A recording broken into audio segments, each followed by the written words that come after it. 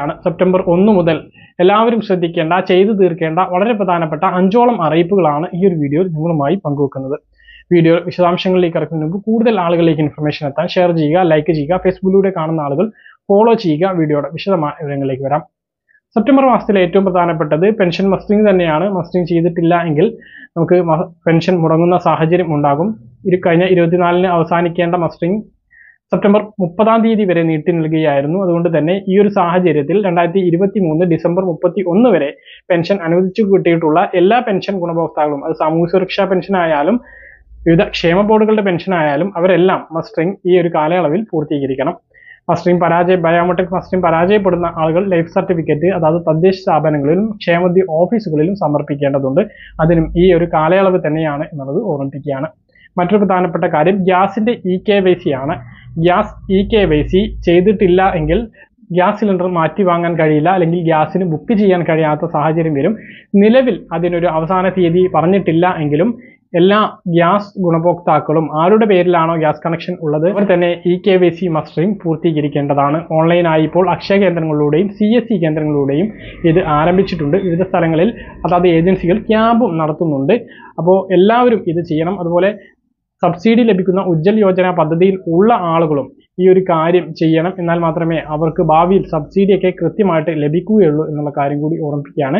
ഇനി ആരുടെ പേരിലാണ് ഗ്യാസ് കണക്ഷൻ ഉള്ളത്? അവർ ജീവിച്ചിരിപ്പില്ല അല്ലെങ്കിൽ നാട്ടിലില്ല അല്ലെങ്കിൽ ഇത് ചെയ്യാൻ കഴിയില്ല എന്നുള്ള അവസ്ഥയിലാണ് എങ്കിൽ അതേ കാർഡിലുള്ള മറ്റൊരു അംഗത്തിന്റെ പേരിലേക്ക് ഈ കണക്ഷൻ മാറ്റാവുന്നതാണ്. ഇത് മാറ്റാൻ ഇത് പറയുമ്പോൾ ഉജ്ജൽ യോജന കണക്ഷൻ ഉള്ള ആളുകൾ അതേ റേഷൻ കാർഡിലുള്ള റെയു അംഗത്തിന്റെ പേരിലേക്ക് തന്നെ മാറ്റണം. എന്നാലേ സബ്സിഡി ആ ഒരു മുന്നൂറ് രൂപ ലഭിക്കുകയുള്ളൂ. അങ്ങനെയുള്ള ആളുകൾക്ക് അഞ്ഞൂറ്റി ഇരുപത്തി ഒന്ന് രൂപ അൻപത് പൈസക്കാണ് ഇപ്പോൾ ഗ്യാസ് സിലിണ്ടർ ലഭിക്കുന്നത് ഒരു വർഷം പന്ത്രണ്ട് സിലിണ്ടറിനാണ് ഇങ്ങനെ ഒരു സബ്സിഡി ആയിട്ട് ലഭിക്കുന്നത്. നമുക്ക് എല്ലാവരും ആ പന്ത്രണ്ട് സിലിണ്ടർ ഒന്നും എടുക്കാറില്ല. എങ്കിലും അത്രയും സിലിണ്ടറുകൾ എടുക്കുകയാണ് എങ്കിൽ മൂവായിരത്തി അറുന്നൂറ് രൂപയുടെ ആനുകൂല്യമാണ് ഈ ഒരു ഇനത്തിൽ ഗ്യാസ് ഗുണഭോക്താക്കൾ ഉജ്ജൽ യോജന ഗ്യാസ് ഗുണഭോക്താക്കൾക്ക് ലഭിക്കുന്നത് എന്നുള്ളത് ഓർമ്മിപ്പിക്കുകയാണ്. മറ്റൊരു പ്രധാനപ്പെട്ട കാര്യം ആധാർ പുതുക്കുന്നതുമായി ബന്ധപ്പെട്ടാണ്. ആധാർ പുതുക്കുന്നതിന് സ്വന്തമായി സൗജന്യമായി പുതുക്കുന്നതിനുള്ള സമയപരിധി സെപ്റ്റംബർ പതിനാലിന് അവസാനിക്കുകയാണ്. നിരവധി തവണ നീട്ടി നൽകിയത് കൊണ്ട് തന്നെ ഇനി അങ്ങോട്ട് നീട്ടി നൽകുമോ എന്നറിയില്ല. അക്ഷയ കേന്ദ്രങ്ങളിലെത്തി ഇത് പുതുക്കുന്നതിന് പ്രത്യേക സമയപരിധിയൊന്നും നിശ്ചയിച്ചിട്ടില്ല. അത് എപ്പോൾ വേണമെങ്കിലും ബയോമെട്രിക്കും ഡ്രസ് വെരിഫിക്കേഷനും ബയോമെട്രിക് പുതുക്കുന്നതിനും എപ്പോൾ വേണമെങ്കിലും അക്ഷയ കേന്ദ്രങ്ങളിലൂടെ നടക്കുന്നതാണ് അതിന് നിശ്ചിത ഫീസ് നൽകണം എന്ന് മാത്രം. അതേസമയം അഞ്ചു വയസ്സിന് മുമ്പെടുത്തിട്ടുള്ള കുട്ടികളുടെ ആധാർ കാർഡ് അഞ്ചു വയസ്സ് കഴിഞ്ഞാൽ പുതുക്കുന്നതിന് പ്രത്യേക ഫീസ് ഒന്നും നൽകേണ്ടതില്ല. ഏഴ് വയസ്സ് വരെ അത് സൗജന്യമായിട്ട് പുതുക്കാവുന്നതാണ്. ഏഴ് വയസ്സിന് മുമ്പ് ഈ ബയോമെട്രിക് രേഖ ചേർത്ത് അഞ്ച് വയസ്സ് കഴിഞ്ഞിട്ടുള്ള കുട്ടികളുടേത് പുതുക്കുകയാണ് എങ്കിൽ അവരുടേത് പിന്നെ പതിനഞ്ച് വയസ്സിൽ പുതുക്കണം. അതും സൗജന്യമായിരിക്കും. അതേ അതേസമയം ഏഴ് വയസ്സിന് ശേഷം ഇത് പുതുക്കിയിട്ടില്ല എങ്കിൽ അവർക്കും ഈ ഒരു നൂറ് രൂപയോ അൻപത് രൂപയോ അധികമായിട്ട് നൽകേണ്ട സാഹചര്യമുണ്ടാവും. അപ്പോൾ അതെല്ലാം എല്ലാവരും മനസ്സിലാക്കുക.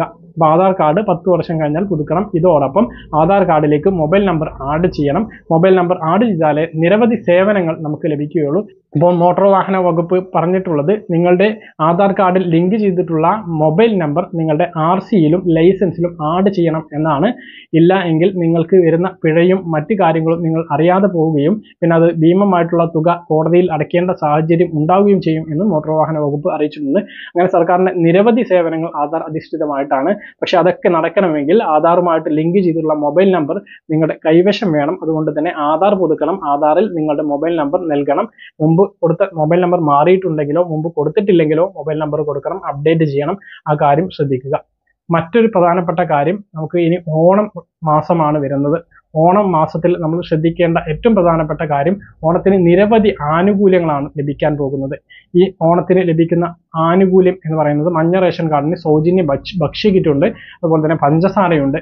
മഞ്ഞ റേഷൻ കാർഡിന് പുറമേയുള്ള നീല വെള്ള പിങ്ക് റേഷൻ കാർഡുള്ളവർക്ക് സബ്സിഡി സാധനങ്ങൾ കൃത്യമായിട്ട് ഒരു മുടക്കവും കൂടാതെ ലഭ്യമാക്കും എന്ന് മുഖ്യമന്ത്രി നേരത്തെ തന്നെ വ്യക്തമാക്കിയിട്ടുണ്ട്. ഇതിന്റെ അടിസ്ഥാനത്തിൽ സംസ്ഥാനത്തുടനീളം ഓണം ഫെയറുകൾ ഏഴാം തീയതി മുതൽ ആരംഭിക്കുകയാണ്.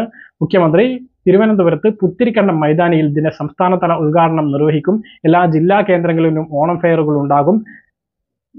ലഭിക്കും. പിന്നെ എല്ലാ മാവേലി സ്റ്റോറുകളിലും മാവേലി ഔട്ട്ലെറ്റുകളിലും മാവേലി സ്റ്റോറുകളിലും സപ്ലൈകോ പീപ്പിൾ ബസാറുകളിലും സൂപ്പർ മാർക്കറ്റുകളിലും ഈ സബ്സിഡി സാധനങ്ങളും മറ്റ് ഇനം സാധനങ്ങളും ലഭിക്കുന്നതാണ്. മിൽമയുടെ ഉൽപ്പന്നങ്ങൾ മറ്റ് കോർപ്പിന്റെ പച്ചക്കറി ചന്തകളുണ്ടാകും അതുകൂടാതെ കുടുംബശ്രീയുടെയും തദ്ദേശീയമായിട്ട് ഉൽപ്പാദിപ്പിക്കുന്ന എല്ലാ പച്ചക്കറികളും ഈ കേന്ദ്രങ്ങളിൽ എത്തിച്ചുകൊണ്ട് ന്യായവിലക്ക് വിൽക്കുന്ന ഒരു രൂപത്തിലുള്ള ഒരു സംവിധാനം സർക്കാർ ഒരുക്കും. അതായത് സർക്കാർ കൂടിയ വിലക്ക് കർഷകരിൽ നിന്നും എടുത്ത് കുറഞ്ഞ വിലക്ക് ഉപഭോക്താക്കൾക്ക് നൽകും എന്നാണ് മുഖ്യമന്ത്രി അറിയിച്ചിട്ടുള്ളത്. മറ്റൊന്ന് സഹകരണ വകുപ്പിന്റെ കൺസ്യൂമർ ഫെഡിന്റെയൊക്കെ ചന്തകൾ കൂടി ഉണ്ടാകും. അത് രണ്ടായിരം ഓണച്ചന്തകൾ ഉണ്ടാകും എന്നാണ് അറിയിച്ചിട്ടുള്ളത്. സഹകരണ ബാങ്കുകൾ കേന്ദ്രീകരിച്ച് അല്ലെങ്കിൽ സഹകരണ സംഘങ്ങൾ കേന്ദ്രീകരിച്ചാണ് ഇത്തരം ചന്തകൾ പ്രവർത്തിക്കുക. ഇതിലും സബ്സിഡി സാധനങ്ങൾ ലഭ്യമാക്കും എന്നാണ് അറിയിച്ചിട്ടുള്ളത്. അപ്പോൾ ഇത്രയും ആനുകൂല്യങ്ങളാണ് ലഭിക്കുന്നത്. മറ്റൊന്ന് പിന്നെ മൂന്നാം തീയതി മുതലായിരിക്കും സെപ്റ്റംബർ മാസത്തെ റേഷൻ വിതരണം ആരംഭിക്കാനുള്ള സാധ്യത. അപ്പോൾ ഓണക്കിറ്റും നേരത്തെ തന്നെ വിതരണം ഉണ്ടാകും എന്നാണ് അറിയിച്ചിട്ടുള്ളത്. റേഷൻ കട വഴി തന്നെയാണ് ഓണക്കിറ്റ് എന്ന് ഇപ്പോഴും വ്യക്തമല്ല. ചിലപ്പോൾ അത് കിട്ടാൻ വേണ്ടിയിട്ട് സപ്ലൈകോ ഔട്ട്ലെറ്റുകളിലേക്ക് പോവേണ്ട ഒരു സാഹചര്യം ഉണ്ടാകും. അതിന്റെ അറിയിപ്പ് ഡിപ്പാർട്ട്മെന്റിന്റെത് കൃത്യമായിട്ട് വരേണ്ടതുണ്ട് എന്നുള്ളതാണ് മറ്റൊരു പ്രധാനപ്പെട്ട അറിയിപ്പായിട്ട് നിങ്ങളെ ഓർമ്മിപ്പിക്കാനുള്ളത്. അപ്പോൾ ഈ ഒരു സെപ്റ്റംബർ മാസത്തിൽ പ്രധാനമായിട്ട് ശ്രദ്ധിക്കേണ്ട ഏറ്റവും പ്രധാനപ്പെട്ട ചില അറിയിപ്പുകളാണ്. മറ്റ് അറിയിപ്പുകൾ വരും വീഡിയോകളിൽ നിങ്ങളെ അറിയിക്കുന്നതാണ്. പറഞ്ഞ കാര്യങ്ങൾ കൃത്യമായിട്ട് മനസ്സിലാണെന്ന് കരുതുന്നു. ഇതുപോലെ ഇൻഫർമേഷൻ ലഭിക്കാൻ ചാനൽ സബ്സ്ക്രൈബ് ചെയ്യുക അതിലേക്ക് എനേബിൾ ചെയ്യുക. മറ്റൊരു വീഡിയോ മനസ്സിലാക്കുക ബൈ